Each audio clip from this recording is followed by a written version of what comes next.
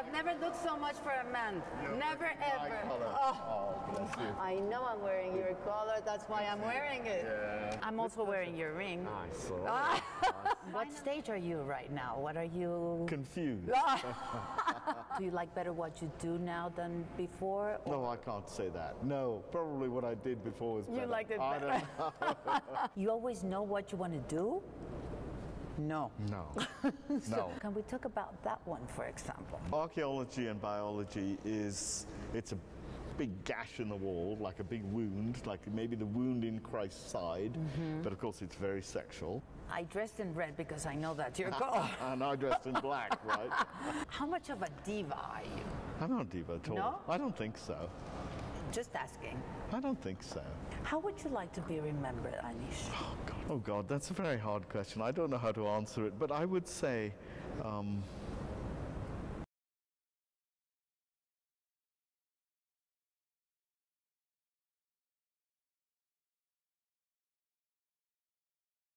No hay mujer más odiada en este país que usted. No es cierto. Hola, me llamo Malala. Hello, Richard. How are you? Buenas tardes. ¿Ya no quieres insultar a la prensa? ¿Sí o no? Una parte. ¿Sí te gustaría ser presidente? Por Dios santo, Adela. Entonces, ¿en qué estamos? No, hombre? Chabelo, eres una celebridad de Hollywood. Sí, ¿qué? ¿Qué, qué sientes? ¿Qué? Tú eres bastante neurótico. ¿Por qué lo dices? Ah. I adore you. I'm your fan. Can we get some wine? And, uh, O sea, ¿no mandó a nadie al diablo en algún momento? Muchas ganas. yes, I'm demon with home. Me están albureando. Oh my God. Dangerous woman. Cheers. Pon fecha y hora. Horadelas. Finally! I've never looked so much for a man. Never ever. Oh. I know I'm wearing. That's why I'm wearing it. yeah. How, how are you? Thank you. How are you? Finally, fine. Thank you very much. Thank you. Are you tired? I was told you're a little bit tired and nervous You and know, just doing shows and. getting Yeah, I know. together. What's So- this? Ah, This is they a- have to tell you what's this. This, This is is a- amazing. This is. A ver, muchachos.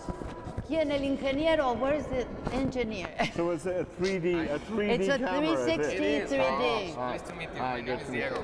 Hi, Diego. We're filming this, as you just said, in 360 3D. Oh, wow. So- which is a very Just like your pioneer pieces. uh, interview in Yeah. all Latin America because Oh. it's not only 360 but 3D. Oh, wow. So you will be able to see this using the, the virtual reality glasses. Or Junior, Uh, ¿están grabando? Oh, no. we, we, thought, Yeah. we thought that this was a great idea for your uh, Yeah. for, for your art because Yeah. everything is 3D. Yeah, yeah. So to add a little bit more hype, we, we, we made this uh, this rig homemade in, Really? house with our engineer uh, to create the 3D effect.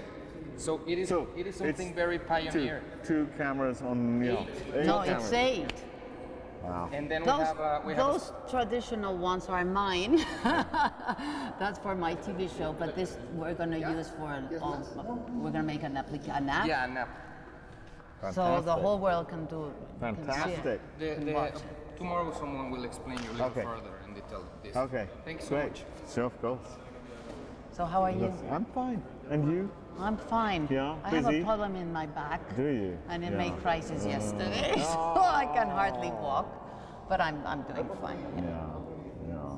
So next time it So- should be in London, in your studio. Come, please. You didn't invite me Of this time. I I- wanted to go there before the, the show, and but then you didn't, I didn't know that. You didn't, I didn't realize. You know, I really. You're most welcome anytime. yeah, really, we should do something there. would it would love be it. great. Yeah, yeah, yeah. I would love it. Next it. time we just Sure, has to be there. Sure, sure. I'm also pleasure. wearing your ring. I saw. Ah. I saw. Maybe sometime I can have a piece from you. Yeah. But this is nice. We'll arrange. Yes. It's beautiful. Yeah. Good one. Don't you like it? Yeah, I love it. Good. That's what I can afford. Oh, Art world's weird. I know.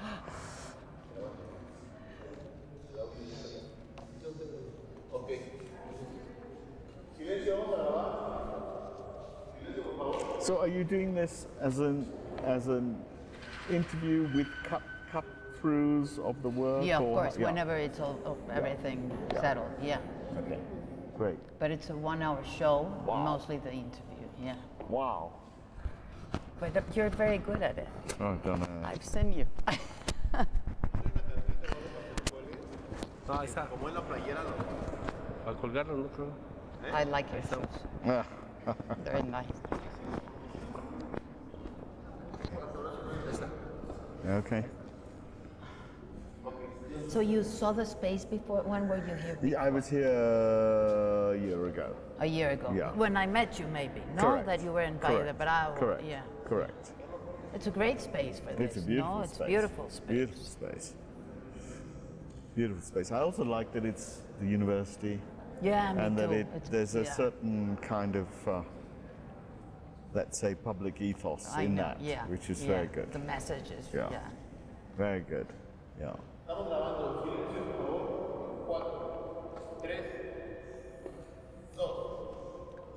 Finally, Anish Kapoor, thank you so much. I really appreciate this. Thank you. Thank you very much. Thank Are you, excited about this show, about the exhibition in Mexico? I am, and uh, you know these galleries are so beautiful. Yeah, wonderful it's scale to amazing. them. Yeah, the scale is Um, great. And um, yeah, it's great. you you saw the space before? Yes, I was here uh, a year ago, and I had a good good look at the space. And then, of course, it takes a long time to plan an exhibition. I and know, try and, like this and one, try yeah. and get um, the relationships between the works. And the exact pieces you want Yeah, to know? yeah. How many pieces? 22, I guess? 22. yeah, you know I don't. I know don't better know. than you. Yeah, yeah. But did you did you choose the, the exact pieces for this? Uh, Is this like a mini It's retrospective? not, can a- I say? it's not meant as a retrospective. It's a sort of survey through the work. I mean, um, I'm interested in the connections. Mm. You know, in this room, there's of course this big, this big work, uh, My Red Homeland, which is core to me. You know, the Red Homeland, and then these series of works around the room that relate um, to it uh, in meaning, in in process, and so on. When did you do this one, for example? This is from more or less. Yeah, this is about Which seven, period? eight years ago. Ah, yeah. okay, yeah, okay. yeah, But but we're gonna. Uh, I think we're gonna see pieces from 1990 That's till correct. here. We have we have even there's in uh, the other part of the show. There's a work from 1982. 1982? So, wow. some time ago. Yeah. Wow. Wow. And what stage are you right now? What are you? Confused. and why is that? Maybe that's what artists are. Confused. I know. Maybe yeah. We're all confused, but maybe that's uh, the way to create and to imagine things. Yeah, I think it's very important that we, uh, as artists, first of all, uh, we don't presume to know anything because I don't. We don't know anything, and I think that's very important that we remain kind of outside um, both uh, politics, information, and knowledge. It's not about knowing something. It's about what? It's about, um, uh, you know, there's this kind of classical image of the artist as a kind of fool. So the artist is a kind of fool, I think, it's true. But as a fool, you go beyond education. You allow yourself the process um, of doing something because you feel you have to do it. And maybe, maybe, there's a small maybe, it has something that goes beyond reason, beyond thinking, beyond, uh, maybe it's poetic. It or is. something else. It is. Um, because you can't, how, you know, if you say, I'm an artist, so what do you do? Get up in the morning and go to the studio and say to yourself, ah, today I'll make something beautiful? Well, you can't. You can't. You can't. So it's a practice. It's a, it's a way of thinking, working, a process. Is it a philosophy? It's a process that has philosophical implications. Um, but I think it's a life lived through that process. Uh, and that's essential. Um, when you're confused, you create. You also create. I mean, do you ever get, get dry or lack of uh, imagination or Well- creativity, and you say, "I need a break"? Yes, yes, but it's not, that's to do with being tired and traveling too much and all that. Um, the studio, as I say, is a practice. So it has a, um, there's never a question of what to do because what to do is uh, you do anything. It doesn't matter. Make tea. Maybe that's a work. Yeah, Maybe yeah. that's enough. Maybe that's you know, you know what I mean. Yeah, of Um, course. So it- but going to the studio and it- it- making exactly, tea. Yeah. Exactly. That is the so it's the process, and out of it comes things. You know, it's not about inspiration. It's The not muses some- come, Yeah, no, but but it's they not also about, go. But it's also not about inspiration. It's a you know, it's it's practice. It's continual application. So in a way, you're thinking about it all the time. Uh, you see something, you know. Kind of out of the corner of your eye, and think, hmm, maybe there's something There's there something that I there. recognize, that I remember, that has a, a language that's familiar or something like it. So practice makes you better. Do you like do, do you like better what you do now than before? No, or- I can't say that. No, probably what I did before was better. You better. liked it better. I better. don't know. I don't. You know, one of the great things I think is innocence. Hmm. Um, it's like when you first fall in love. You know, there's something innocent about that first, first, I know. which is not the same the next time or later on. So innocence has something beautiful about it, and the, maybe the big question for us all as human beings is how do we remain innocent always? How do we maintain a kind of relation to ourselves and to the things in the world, other people, and Sort so of on? naive. And Yeah, which is innocent and kind of. Uh, How do you manage? I don't know. I don't know. There is no answer, but it is an important goal. I know. isn't it? Um, Like an everyday goal. yeah, everyday Like- goal for all No, of and us. let yourself Yeah, surprise of exactly, everything that's exactly, happening. No. Exactly. So when you when you tell me you you're not into politics and into No, I'm very into Th- politics. yeah, that's why I. Yeah, I'm very into politics. I know. So Well, of course, the, every act of sort of creative uh, uh, endeavor is a political act. It's an act of affirmation. But also, we live in a world which is, um, oh, I'm in, in uh, you, know, you know what I I mean. understand, You yeah. know what I mean. you couldn't say it better. and uh, um, it has to do in many with many many different things. Um, part of it is how we educate our children. Um, we almost force them into into modes of being that don't free them. It's not about being free, but about being, if you like, workers for our industries and. ah, not good. Not good. good. That's why I think the artist is important because the artist somehow, mm, whatever, whether you like the work or don't like the work, but as a as a position, it's, it it declares, it's a declaration that, um, um, of innocence, of of something that goes beyond education, Mm-hmm. that's something that opens up the spirit rather than closes it Makes you down. free. Yeah. Well, that's the that's the hope. There was, yeah, that's the hope. There was a time uh, where people, where society uh, thought that artists should be uh, committed, social committed. Do, Mm. do you do you believe that? Um, hugely so. We live in the most you do a lot of that. horrible, unequal world. Um, you know, where the difference between rich and poor is enormous. The difference between uh, those who have influence and those who don't have influence is, is huge. Those who Uh, decide. Yeah. Um, so, of course, um, I mean, you have a very particular history in Mexico of um, um, all aesthetic practice being um, deeply socially minded. Deeply. Deeply socially minded. Now, tha I think that's a wonderful history, I must say. Um, can we keep it alive in, in the modern world? Increasingly difficult to keep it alive because we seem to have lost um, any utopian vision, any idea that society will be better, will be that we can aspire to something greater. Um, it's as if it's only about earning a living, sending your children to school. You know, it's like a Automatic. yeah. Everything and is so automatic. So we have we distrust utopian, but while I understand why that is so at one level, it is also a great shame. Um, um, because we need to aspire to somehow be better than, than the conditions offered to us by everyday politics. So you're very pretty much into it. Uh, it's no, very you've important. It's a collaborated very, with it's a very important issue. like with yes. Ai Weiwei, for yes, example. Yes, no? I have. I have How was that? How was that collaboration? You enjoyed that?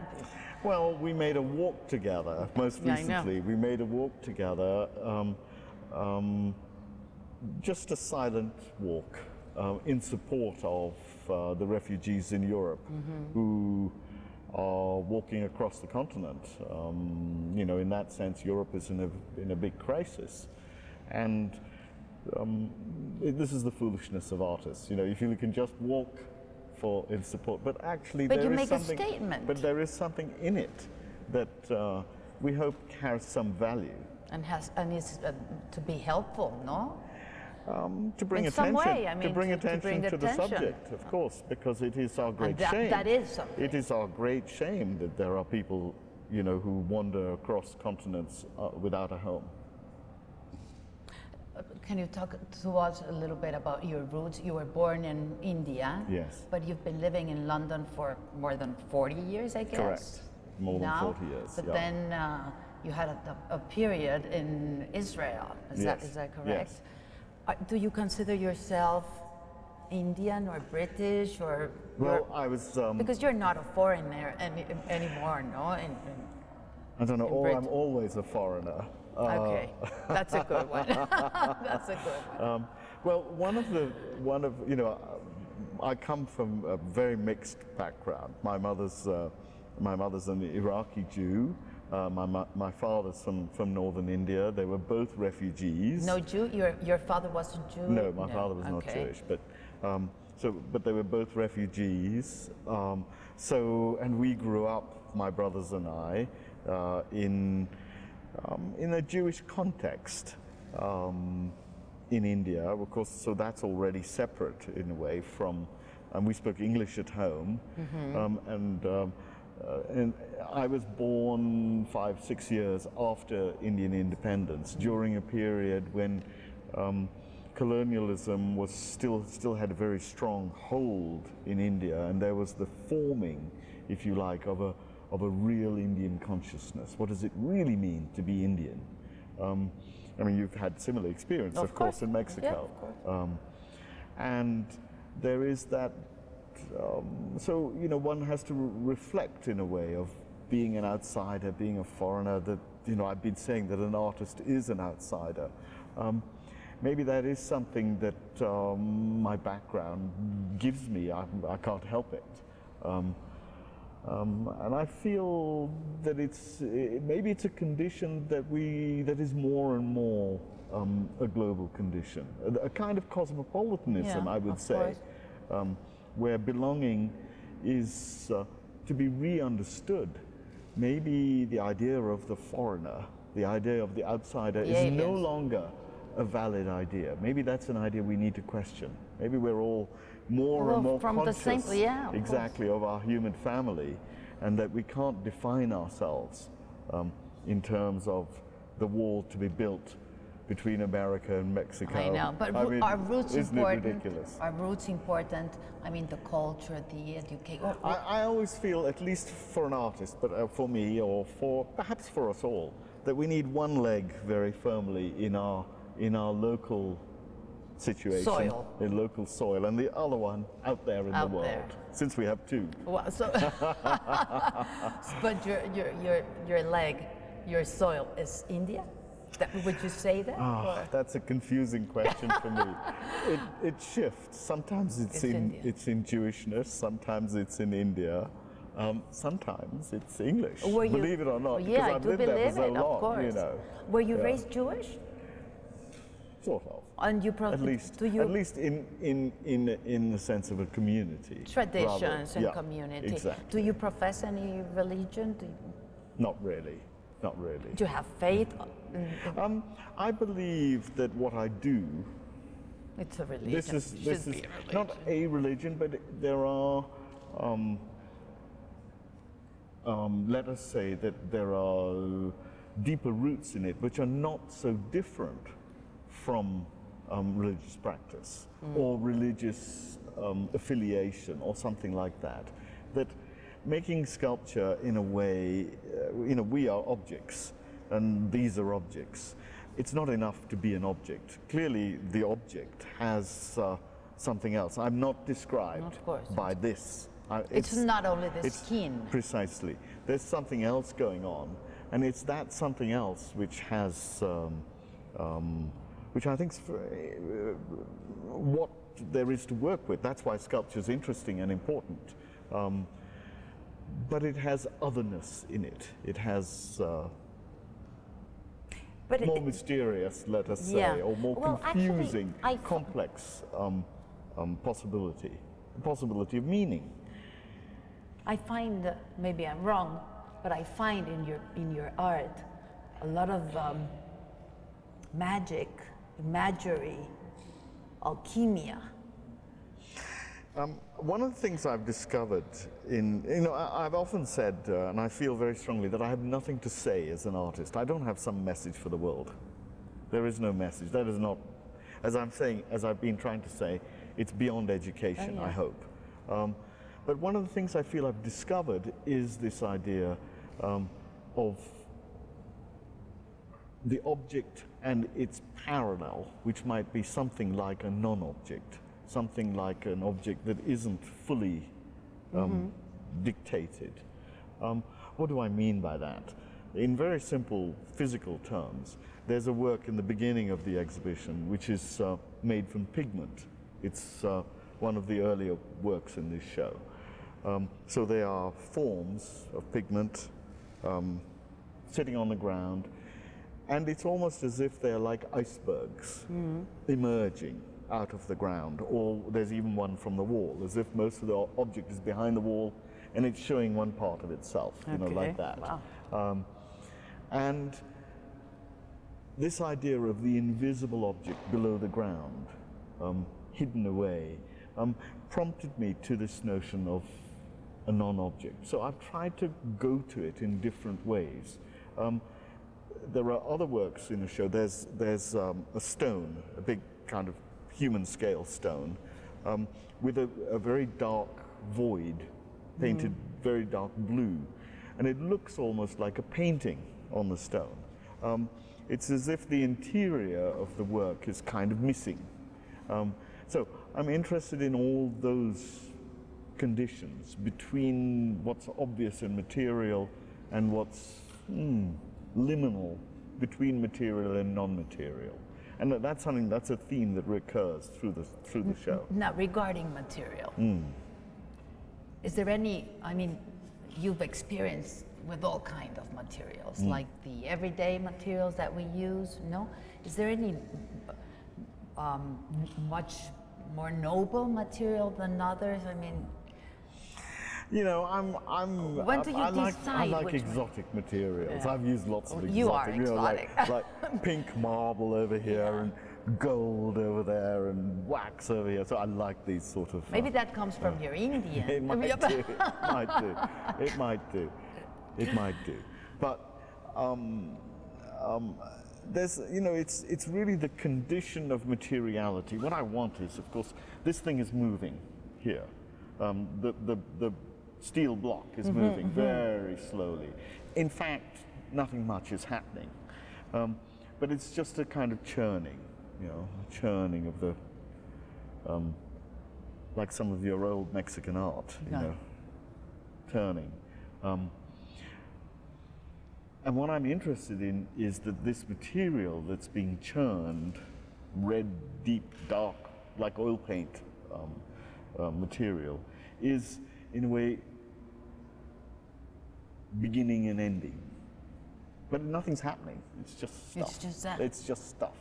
Um, and it has some associations with blood and meat and um, body. But that's and- the beauty of and, that. I mean, and uh, so it's a very straightforward, at one level, it's very simple um, process. So sculpture is also about process. how is your process? How does it go? I mean, you always know what you want to do? No. No, no. You get in the studio. I get in the studio. You have a I'm tea. working on something. I have it exactly. Tea is very important. Black tea, English tea. Black tea. I don't know, maybe peppermint This was tea. in Berlin. Was this in Berlin? or Uh, something not- very uh, something similar? Yeah, I saw not that one work, in Berlin. Not this Yeah, I saw that. Yeah, yeah. And of course, In Berlin, it had a completely different meaning. Really? Well, inevitably. Inevitably. What was the meaning there? I mean, Well, we- Berlin has a very peculiar history, Yeah, so it has a very particular kind of meaning. Um, so, art does relate to where it is. You know, it doesn't Mm-hmm. just happen anywhere. It happens in a on a in a Yeah. site in a specific. Anyway, um, so the process in the studio is that I'm um, having endless cups of tea, and and uh, you know I, uh, something will you know let's try this or let's you know maybe work on that or You something. draw? I draw. Um, I often just make something, just start with something, and uh, um, um, watch it.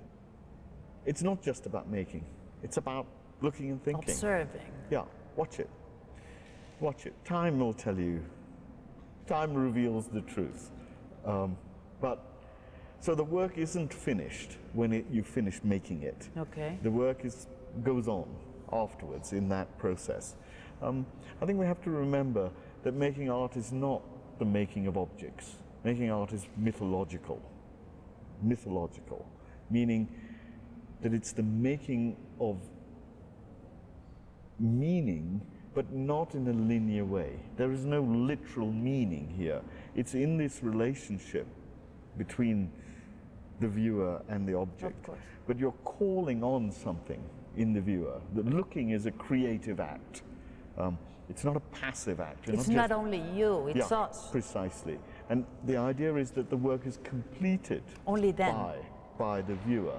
Um, and that process between the two is mythological, I'd say, because it's calling on all kinds of remembered, half remembered cultural, personal issues Mm-hmm. that say, you know, ah, is that blood, but is it blood of sacrifice? Is it blood of uh, body? Is it what, what?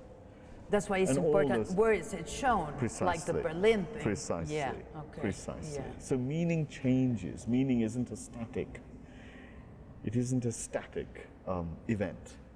And maybe we can find, as an observer, a meaning today and another one tomorrow. Uh, no? possibly. So you can watch So, a piece so many, the greatness many of a work, a greatness of a work, may be to do with the number of meanings that it can possibly generate So it's only completed when it is watched, when it's looked at. when it's course, looked at. Of course. Yeah. Of course. It's like the communication process. I yes. mean, no? Yes. That's what it is. Yes. Now, can we talk about that one, for example? Yes, archaeology and biology. The, what you're talking about this Yeah, one on that wall. Archaeology and biology. Yeah. Um, so that's where the title of the show comes from. That work. Because of that one. Um, yeah. I, mean, I, I think It's you made the wall for that, no? I mean, Yeah, the wall The is here. material, The wall yeah. is here, but we, yeah, we. Uh, the material, yeah. Yeah. So archaeology and biology is it's a big gash in the wall, like a big wound, like maybe the wound in Christ's side, Mm-hmm. but of course it's very sexual. It's, yeah, that's It's- what I was going to say. Yes, and it's very, very, erotic, sexual. very and, sexual, very and, erotic. and uh, it's a kind of entry. It's, a, it's an acknowledgement that architecture is itself a kind of image of, our, of ourselves, something like that. Somewhere there. It's beautiful. Somewhere there. I love that one. It's Yeah. beautiful, beautiful. Thank you. Now, I dressed in red because I know that you're going. and I dressed in black, right? because now you're into black, you know? The blackness. Oh, the- can you tell us about that? Yes. So I read in the newspaper um, some few months ago, no more, two years ago, um, about a very interesting new new material which um, was developed for the defense industry. The drones, right? And Yeah, the, drones. It's a masking material, um, and it's so black that it, it absorbs uh, 98.8% or 99.8% of all light. So it just, and it's a nano. It's nano, so it's very, very, very fine coating. Um, and I read about this in the newspaper, and I, I, I, I found the guys. Uh, It was developed by NASA or no? no, uh, there's one version of this developed by NASA, Ah, but this is developed by somebody in England, um, um, a, a- a company called Surrey Nanosystems. Okay. Um, um, And anyway, I was in touch with them and asked if they had considered using it aesthetically, use it for its visual qualities. And they said, oh no, we made it for the defense industry. So I asked them if we could then work together And develop try and develop something. Um, you know, material, as I tried to say, is um, mythological. And imagine the mythology 98% of all light, the blackest material in the universe after a black hole. Wow. That's quite something. That's a good mythology, isn't Yeah, it? Yeah, it is. what- Wow. I had some of it the other day, and um, uh, we had it on a piece of cloth. And if you fold the cloth like this, you can't see the fold. Mm. It's, it's, it's always like a hole. You know, you literally, you cannot see the fold. Wow. Now, the fold is a very interesting thing. You know, um, in, uh, in, the, in the Renaissance, there were two real wonderful discoveries. One was perspective, which has the view at the center and you're looking into the distance, a perspective, and the other is the fold, cloth. You know, you Yeah. see, you know, you know what I'm talking about. All those amazing paintings with all that wonderful. With all this. Yeah. Mm-hmm. And what are they? They are ideas, in a way, about being, about what it means to be a person and have status, and but being itself. This material, which masks the fold, I think what it does is point to something beyond being, beyond what it means to be. Um, and I'm fascinated by that idea. it's a fascinating idea. Um, imagine a material that's invisible.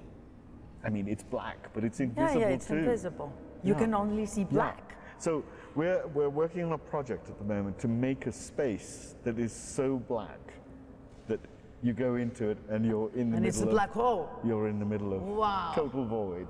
When is that going to be? and where? Ah, I don't know where You yet. don't know I don't know where, where or when. Wh- Where or Um, when? But now you make it yours.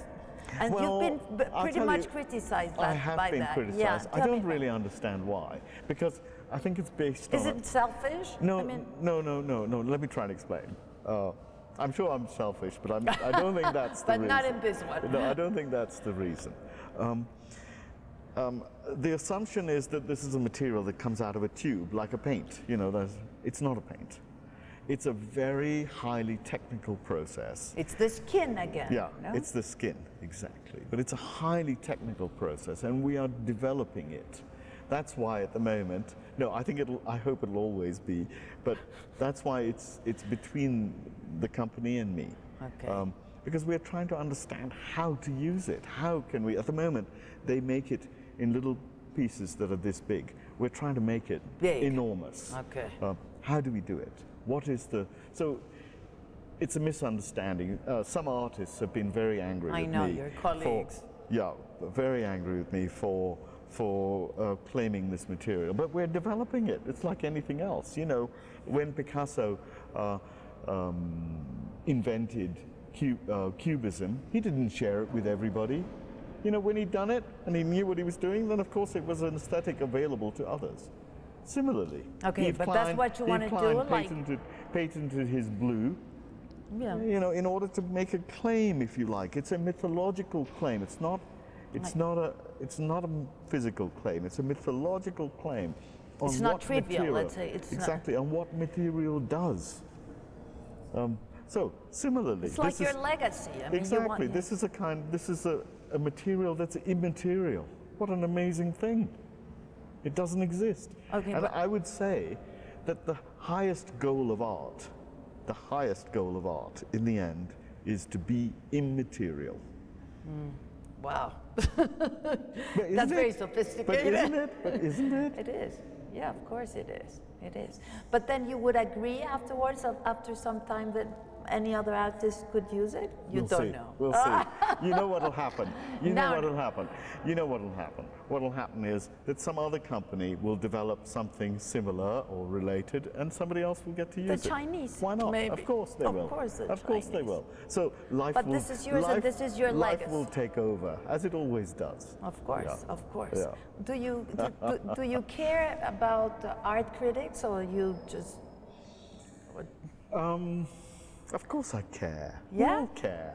I mean, uh, do I care? I don't care deeply, deeply. I think you let don't us say, care. Let us say that, um, uh, you know, making one's work is a, is a practice. So someone likes it, someone doesn't like it, someone understands it, someone doesn't understand it. In the end, what does it matter? But of course, at the moment, uh, I'm a sensitive human being. You know, I want to be loved. So. So you would like th- that the critics were all. Of course, of course. But that passes. You know, it doesn't take long, but it passes. And, you know, you still have to make it work, even if they like it or if they don't like it. It's not the point. Now, art has to be liked or understood. I mean, Well, I'm not sure that it has to be liked or understood. Okay. I think art has to be uh, something that's Enjoyable there, and- that's something that's there that bothers you. Something bothers that bothers you. Okay, Yeah. okay. You think, oh, why is that There's art? something you have to there. ask, why is it art? It's not art. That's not art. I could do that. My child of five years old could do that. Those are very important questions because they question our whole um, sense of what it means to make culture. What is culture? Um, is are our everyday actions already cultural? You know, I think very important questions. Um, and we don't know we're asking them, or we know we're asking them, but we, But we don't, don't realize that they are just as important as, as, as any other philosophical question. is art a commodity right now, do you think? Well, this is a big problem. It is. Art has, in the last, certainly in the last 10 to 15 years, become more of a commodity um, than we know in our recent, in our recent history. Um, and that's a great danger for artists because we have to, um, as I do, you know, we're all part of the art market. At the same time, we have to be aware of what it does to us. Um, to just be another capitalist Mm-hmm, object maker. oh, Because that was not the yeah, mean. That, was, not the. That's not the point. We're not making pretty point. little, pretty little bijoux for I know. for nice homes. Mm-hmm. So we have to find that. You know, how do how do we negotiate? Um, of course, the market helps me to run my studio to keep Mm-hmm, things going, but at the same time, it's a danger. Like all, like all these things that you know give us, they also I take know, from us, or they take. take and give, whichever. Yeah. And is, is it a bubble that it can? Probably, Yeah. or possibly. Who knows? But people have been saying the art market is a bubble, no. bubble for a long time. Yeah, um, I think I've always think it's very bad taste talking about money. No, But- I think money's quite interesting. Okay, let's talk about money. I'll tell you. I'll tell you only why. In relation to art, you know. What's your relationship with money? How I do you relate artists, with money? Artists have to have sophisticated relationship with money. Okay, bien. So that's one. That's your Jewish roots. No, no, I don't. I don't know about that. I'm Um, Jewish too, so that's but one just, of them. but just think about it. You know, when you look at a Picasso in a museum and you you say, oh yes, that's worth 50 million, 30 million, or whatever, X million.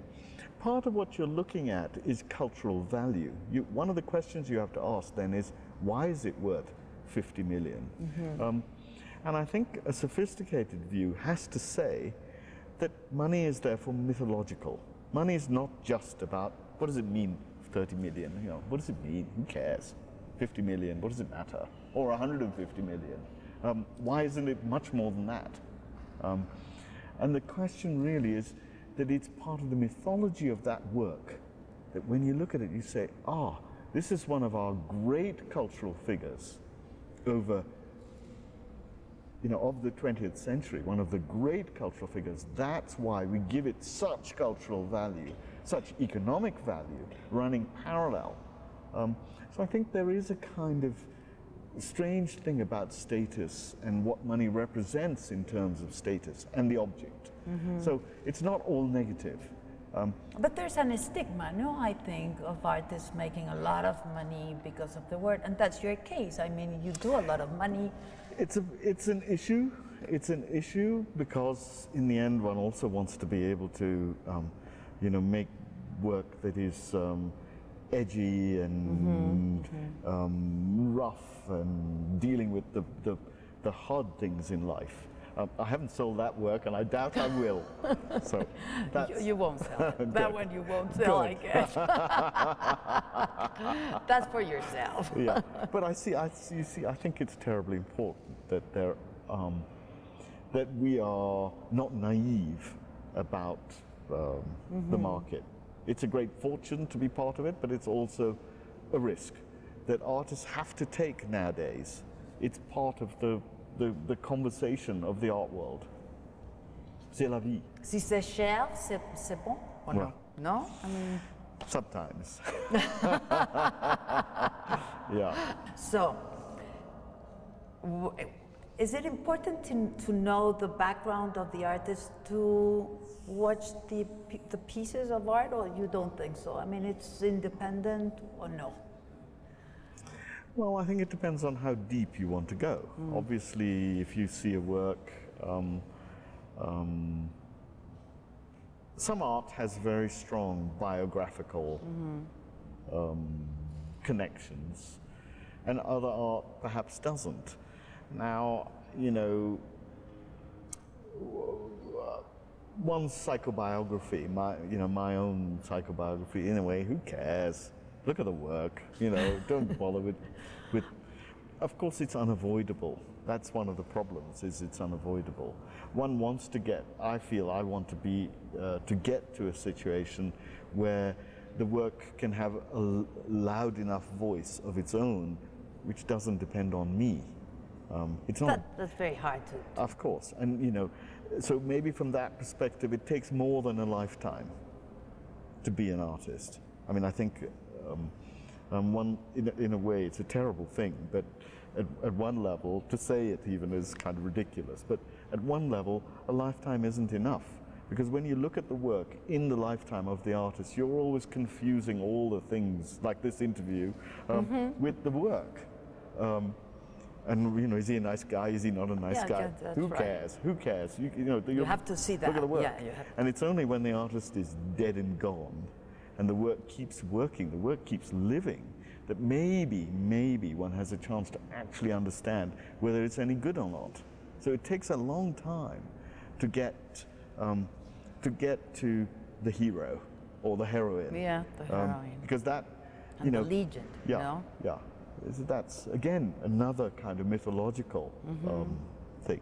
But maybe, I don't know if you agree, but I, I understand better Frida Kahlo's work. Yes, For example. yes, Because of her background yes. her, But of course, much how of you call her, the, the psychobiography. you know? I understand. But in her particular case, of course, um, her the work is related so her. closely to um, her relationships and her um, um, Her the pains, her psychic, psychic inner space and so on. I mean, that she's able to open it is a wonder, really. Yeah. But that's not your case, you think? Um, maybe it's unavoidable, but um, you know my circumstances are very, very different.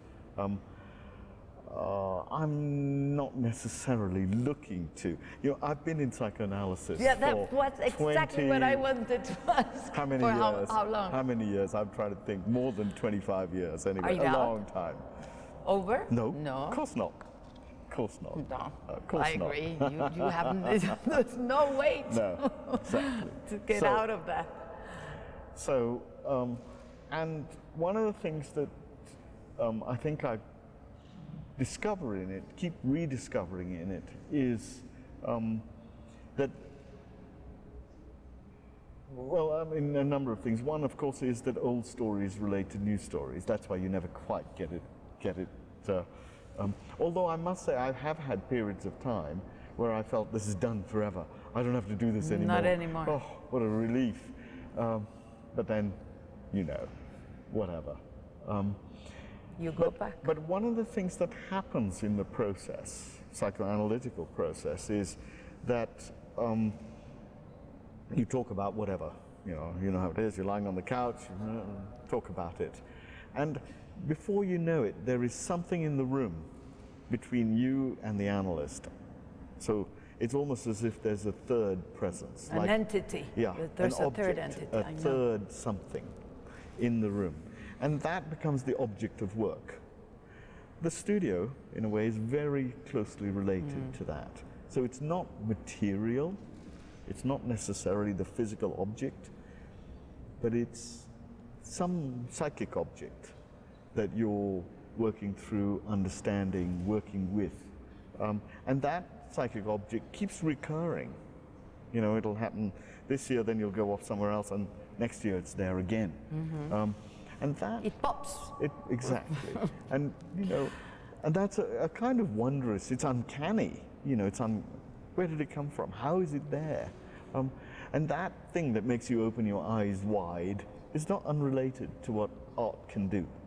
But that's the beauty again, no? Again, That's the beauty, indeed, of course. indeed, It surprises indeed, you. Yeah, indeed, yeah, yeah. indeed. So what's, in, in your case, I, you work with scale, no? Yes, yes. How do you imagine that? Or wh- wh- what comes first, the scale, the color, the material, the, the design, the... Um, scale, of course, is the tool, one of the tools of the sculptor.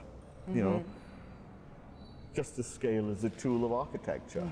Um, and um, like time, scale is very mysterious.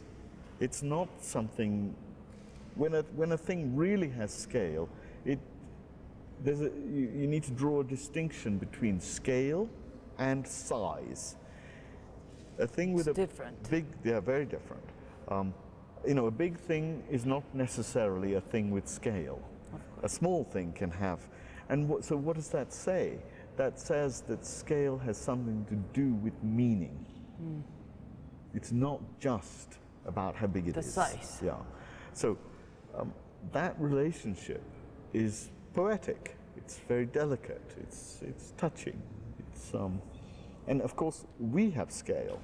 I mean, we have our body, which moves around space. So it has a particular kind of scale, but also it's an imaginary scale. Because again, I say I'm not this. You know, course. there's some other scale inside. You imagine everything. Yeah, there's That's- another scale inside which is bigger and smaller and Mm-hmm. changes with how I feel and fragile and not fragile and all that. All that. Are you Um, fragile? It's essential. Yes. Yes, it's essential. Uh, how can you be alive, aware human being without being afraid, without being uncertain, without being fragile? What's the point of living? Afraid of what in this in this time of your life? You know, um, what am I going to do next? Is it any good? Is it, you know, all those things which are part That should of be a nightmare, no? What if it's not good? What if it's I don't know what to do next? Yeah, but those are, that's but that's the condition of That's being life. human. Yeah. So um, I think one has to um, be vulnerable. We all are. We're all but we're not aware of that.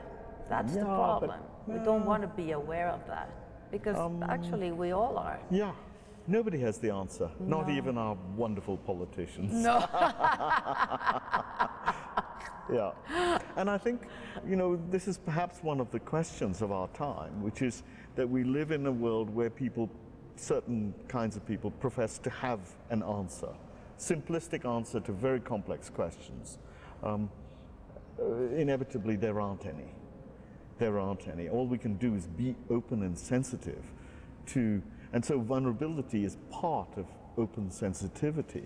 Um, um, you know, from all the things of life, you know, from some people it's about how I how do I get my next meal, and other people it'll be you know the marriage of my son or my daughter, or what work am I going to make next, or um, all the all the little negotiations of life which are infinitely confusing. Everyday life. All everyday life. They're infinitely confusing They for all are. of us. Do you have children? I have two children. A- yes, A son and a daughter? or- a daughter and a son. Daughter's older. what, what do they do? Are they My, my daughter's just taking her final exams at Oxford, so I worry about that. Yeah, that's the daily worries. And my, my son's a guitar player, so Wow. he's, uh, yeah, he's doing well. What, what does your, your daughter want to st- study? She's studying politics, but we'll see. No. Yes, yes, yes, with great social commitment, so Really? that's good. That's that she good. learned from you also, no? Or maybe I learned it from Oh, her. from her, yeah. We learn a lot from children, Yes, from we our do. children, Yes, we no? do. And we We grew do. a lot. uh, we- Yes. We, grew a Yes. deal from the, Yes. with them. Yes. That's fantastic and fascinating. Yeah, and uh, again, uh, uh, yeah, to, to not assume as a parent that one knows, in fact, is terribly. Yeah. It's good. Yeah. So uh, tell me about your, your time in the kibbutz in Israel. How was it? It was did a you long like time it? ago. It I was a know, long you time were- ago. you were this is uh, 17 Yeah, I was 17. It was 1970. Um, um, I did like it. It was uh, a time of, you know, in the in after the 60s. Uh, um, we all believed in the idea of communal living, of communal projects, whatever. Um, um, and I think that's a very, it was a very important kind of moment, but it passed very quickly. After the, uh, the war in 1973, for me at least, that moment passed completely. It was no longer possible to identify with um, what felt like Israeli oppression. I know. And that But was the very kibbutz difficult. have been changing a lot also. They've changed That's a lot. why, yeah. They've changed a lot. But but you know, it's still a wonderful ideal. I've the got the to idea say. is Yeah, wonderful. And you stayed there for how long? Oh, I was only there for three years. so, Three years. Yeah. You started creating there. You're, you I, I, started I, there. I for me, it was a good thing too, in the sense that um, I'd gone there thinking that I was going to be an engineer, you Mm. know, a professional, like a good Indian boy should be. Um, and then in when- Israel, that's good. Yeah. So th- then, I, then when I was there, I, I uh, started making some little paintings, and then I, I, I felt what I wanted to do was be an artist. My poor parents, they What were not they happy. say? They were not happy. No? No. Your no. mother, what did she say? My mother wasn't so bothered by it, but my father Your was. father. Yeah, yeah. Well, I understand. You know how you're going to make a living and all, all that stuff. All that if you only knew. well, well, you know. You you get know, along. You know, you know, these things. Um, but talking of communal projects, it's one of the reasons I like uh, um, public art. Although public art is very difficult, um, one of the things that it, it it wishes to occupy, one of the spaces it wishes to occupy, idealistically, is um, is properly social and public in the sense that it's almost like um, something you know where you grab someone's your your friend's hand and say come and look at this. Um, that sense of bringing together um, something that we all engage in. It's it's perhaps you know gardens gardens public space public objects are um, it may our last democratic democratic um, social um, um, purposes. Yeah, because it's Yeah. the gathering The of gathering. sort of maybe people. the cinema. They mingle. Maybe no? the cinema can do that The too. cinema but it maybe, also, yeah. but the cinema still isolates you. Sculpture doesn't. You know, gardens don't. They kind of bring together in a way, and I think there's something very important there about how we construct um, social space and um, um, keep our societies open to public interaction. Like? Chicago, for example, no? Yes. The, the bean. What do you The think? bean. The bean. Well, it's Yeah. known as a. I'm Yeah. sorry. No, no, no, no, no, no. No, no, it's good. It's good. But Yeah. it's known as It's the good. bean. It's known as the bean. It's a beautiful bin. Yeah. Um, it's a landmark in Chicago. I mean, everybody that goes to Chicago goes, f- first of all, to see that. But it's not only watching, it's very interactive, no? Very interactive. And that's, that's what makes it so interesting, so enjoyable, no? Yeah, uh, you know, I have my own kind of uh, um, issues about that, which are that, you know, when I first made the object, when we first, it took six, seven years to make, so it's a difficult, technically, really difficult thing to do. It's like a one piece? Yes, how one do you, piece, Yeah, one wow. piece, uh, one enormous piece. Yeah, enormous Uh, piece. And so when we made it, I thought to myself, oh God, it's so popular. Oh, that's such a big problem. I don't like this. It's like Disney. It's, yeah, maybe. And then I thought, oh, this is very depressing. So I went and spent uh, four or five days just there. I went there every day and looked at it and looked at people. And then I realized that there is something else going on, which is this that it's very hard to tell how big that object is. It's a very big object, but also it's a very small object. It has this strange shift mm-hmm. of scale. You never big- know if it's big yeah, or- yeah. yeah. And the reason for that is that it has no joins. You Yeah, know, that's it has. It's completely no one. I one know, one continuous, continuous surface. So, because it has nothing that gives it scale, it has no scale. It's not. It's big. It's small. It's. And that, I think, holds just enough mystery for it not to be only a kind of selfie object, you know. yeah, but it is. But it is It like is a, a self- selfie object. Selfie object. yeah. You feel terrible because of that? No, it's fine. No, because you it's know fine. Yeah, You know, it's got because itself. people makes the yeah, piece Yeah. themselves. It's got itself its own name. You know, the, the bean. The I bean. called it Cloud Gate, but uh, the bean. It's fine, and it's become this sort of object that's, if you like, part, as you say, part of the.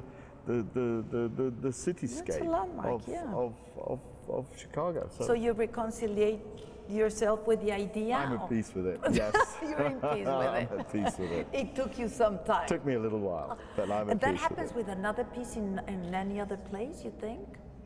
Your, your, mine? yeah, you, of yours. I don't know. Don't know. I mean, I made uh, um, Orbit, the tower in, in London, which is really an object Yeah. with all its. It's quite awkward as an object. Um, uh, we'll see. that has a more problematic uh, public uh, acceptance. But Yeah. I, I, I think it's. I would say that, but I think it's it's an interesting, awkward object. Mm-hmm. Um, It's different. and especially for the Olympics, which is such I a know. kind of national project. Maybe it was necessary to make something that wasn't just easy to look at. What, what does it feel, how does it feel to, to be a knight, the knighthood in, in, in Britain? Is it, how does it feel? Is it, Um, because it was Silly. because of, silly? silly. It was because of your contribution in visual arts. I know, I know. Um, uh, you know, it's a part of British life. If someone gives you something, you just say, thank you. it's fine. It's fine, that's it. Yeah. I mean, you know, it's good when you fly British Airways. It is. it's nice. But other you than flew that, British other- Airways uh, now. yeah. other than that, uh, you know. But as I say, when someone gives you something, you say thank you. Success, fame, does it bother? Or how do you manage that? Not to, I don't know. uh, How much of a diva are you? I'm not a diva at all. No? I don't think so. Just asking. I don't think so. Um, an artist is irrelevant. We're not pop stars. Artists are just, um, you know, we. Um, I mean, it's very important that we're not pop stars. That we don't play um, the, That role. That role. Um, um, I'm trying to, you know, think of how one could answer that question meaningfully. Um, can't, I can't be naive about it also to say, oh, it's, you know, um, of course, we're all very susceptible to status. Status is something that, uh, whether we like it or not, there's something inside The saying, ego, of yeah, course, vanity, to all of that. And I'm just as susceptible as the next person. You know, there's no. Uh, um, We're no so, different So no, that. no false modesty about it. At the same time, one has to recognize that this is a kind of, it's an illusion. Um, it's bullshit, you know, to put it simply. Um, and it can't be taken too seriously. Um, it has its advantages. You can get a table at a restaurant Yeah. whenever you want one. Oh, that's good. Yeah. That's good. But it can it can change yourself, your inner Yeah, self, but I and think that that's very, very, very important not to not to play that game with yourself because then you really believe it. Um, Mm-hmm. um, you know, years ago I did a show in New York. Uh, This was my first ever show in New York, um, and this is after you know showing in London for a little bit uh, in the early 80s. And the show, we sold everything in the show uh, before the opening, and it was a huge success. And everywhere I went in New York, people would say to me, "Oh, you're such a good artist." I was 26 years old. No. Yeah, and, you're such a good artist. Of course, it's what I wanted to hear. Yeah, of course. Um, and then I came back to London and I felt really depressed. And I thought to myself, why? What has happened? And I think I knew in my heart that the show I made was a good show, but it wasn't my best show. And so I didn't make any work for four or five months. I just couldn't. I just felt. And it taught me this lesson about not believing your own mythology. So I think it's very important, just as one has to have a relatively sophisticated attitude to money, one has to have a relatively sophisticated attitude to success um, and stardom and all this. You know, in the end, you can't believe it. Because if you do, all you risk, I think, is your own vulnerability. It makes you less vulnerable. Um, how can you be an artist if you're not vulnerable? You cannot. But I, do you really think artists are irrelevant? Or that's Um, just uh, false modesty again? No, I don't think it's. I don't think it's. Um, um,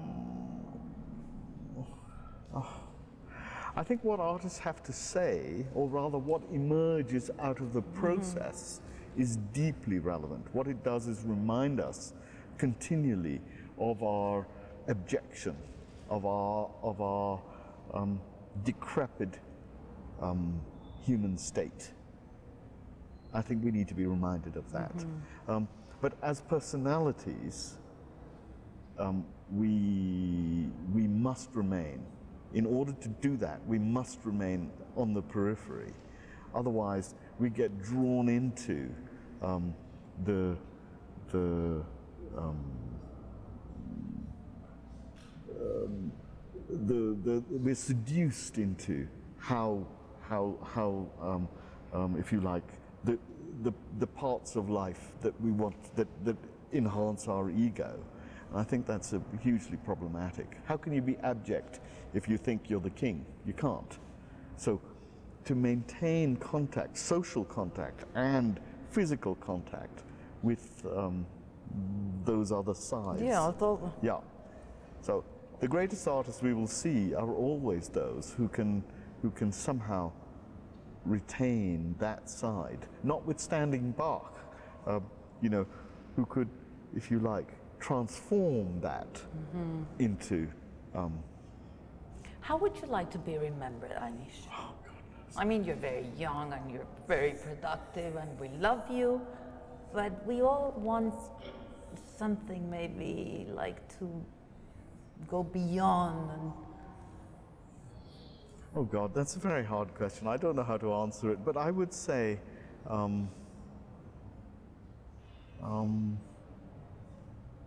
if I, I'm indulging you in this, I don't know, I'm risking it, but anyway, I'll risk it.